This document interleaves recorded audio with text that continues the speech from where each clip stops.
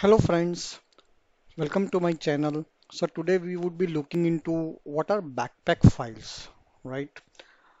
So as usual, the agenda would be brief understanding about BACPAC files and then a practical demo. So first of all, let us understand what are uh, BACPAC files in Microsoft SQL Server. So these files are the zip files containing metadata and data both. Okay. Uh, they are basically compressed zip file uh, which contains the metadata and data uh, data of your database uh, for which you have created these BACPAC files. Uh, they can be stored on Azure Blob Storage, local storage in on-premises, and so on. They can be used while exporting database to another platform or archiving or as a backup to another location. So basically, uh, you know, back files are very useful uh, when you want to transfer a database, right? Uh, with other other solutions like backup and restore and so on, right? Uh, this is uh, back files can also be useful. Basically, uh, you know, very importantly, this back files, BACPAC files can also be one of the solution in exporting your data uh, onto an Azure, onto a cloud environment. Okay, and in today's demo, we would, uh, you know, we would see that how to basically migrate your database from an on-premises location to your uh, cloud location. Okay, so yeah, la- let's let's uh, do some action. Uh, so here I have two environments, right, JIT on-prem. So this is on my VM, okay, and then this is my cloud database. And in this I have AdventureWorks 2012 database, uh, for which I would be creating a BACPAC file, and I would be showing you how to create a BACPAC file. And then at the same time we would be importing uh, that BACPAC file to uh, our cloud environment. Okay, so to create a BACPAC file, uh, basically you need to right click and go to the task and then uh, export click on then export data tier application. Okay? So as soon as you will uh, click on that uh, the vi would start ui would start. Okay?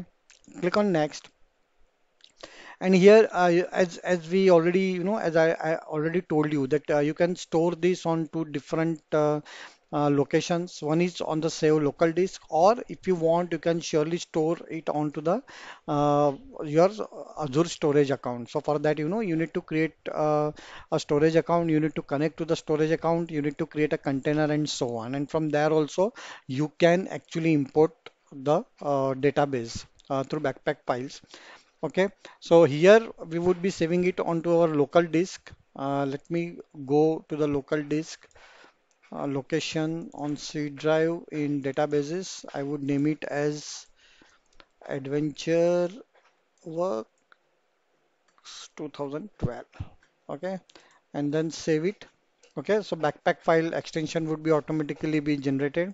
Go to the advanced. There is nothing much into this, but it will actually show you all the schemas. So if you want to exclude any of the schemas, you can do that. Here we are here we are going with all the schemas. Okay, uh, press next. That's it. And you know, there is not, not much configuration or anything like that. Uh, once you do this, click on the finish button and it will start exporting your data, your metadata, that is a schema and data both into your uh, BACPAC files. This will take a while. Uh, I would pause the video here and then I would come back once this export finishes as the database uh, size was very small, you know, this was really, really, uh, you know, uh, quick enough. So you can see here operation is completed and you can see all the tables uh, and all the metadata has been actually transferred or uh, BACPAC file is created. Okay. So this is this is the way uh, how to create a BACPAC files. Now uh, you can see here on the machine on this you know the path which we have given our BACPAC file is ready. Okay. So now how to import that? So now let us basically go to our cloud machine. So you can see here this is my uh, cloud uh, uh, database.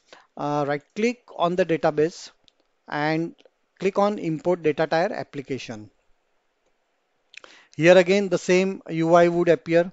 Go to the next. Here again the same thing. If you have stored your BACPAC file on your Azure storage account, then you need to connect that storage account and you need to uh, give a file reference. But here we have created BACPAC file in our local uh, premises on premises.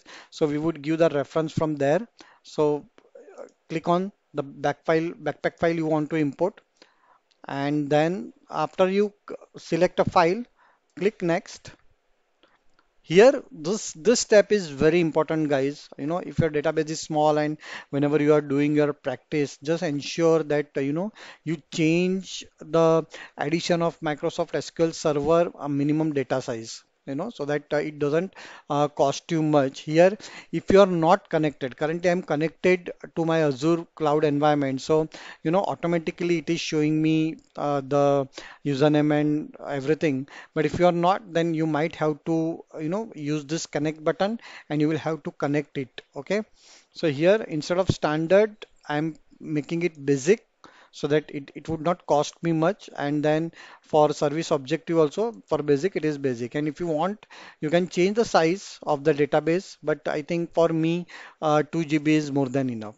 So once this configuration is done, click next and that's it. This is also done.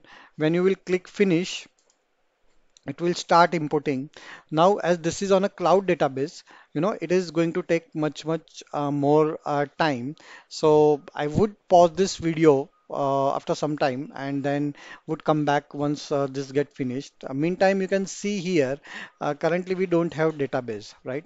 Now, BACPAC files, you know, before I pause this video, I, I would like to give some information. BACPAC files are very, very uh, good in a way uh, that you know they would currently for AdventureWorks database there are no you know compatibility issue but if you have the compatibility issue between the on-premises and cloud if some of the features which are not available in cloud uh, then actually or maybe for for that matter any other issues then it will surely uh, you know uh, create an error and your BACPAC file would not gre- uh, got will get created uh, so for example, if I would uh, tell you that if you have any uh, missing reference of a column or missing reference of a table in a view, eh, so actually at until that level, you know, BACPAC files basically uh, check it and then it will create.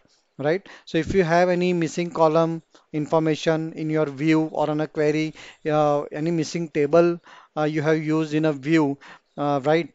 Uh, in that case, BACPAC file will not get get created. It will actually provide you all the list of errors. Uh, you will have to resolve those errors, each and every one, and then you can again proceed.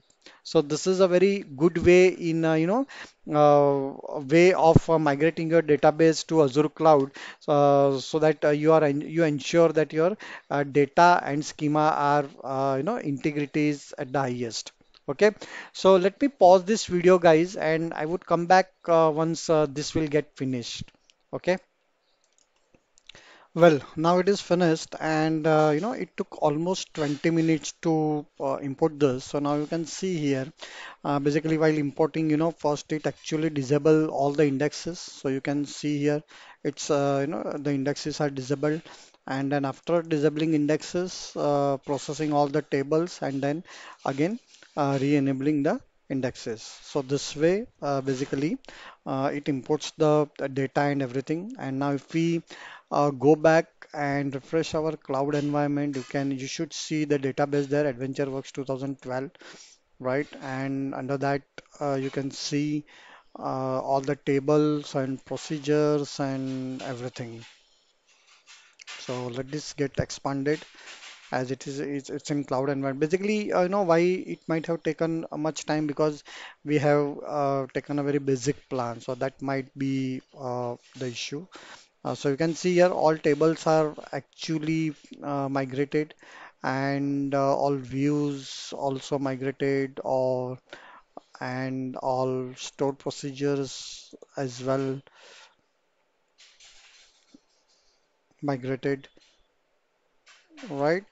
So this is basically uh, you know uh, the one of the wor- I, don't say but this is one of the way or one of the good way to migrate your database from on premises uh, to the Azure environment or uh, to any other location. So this can be, uh, you know, the replacement of backup and restore.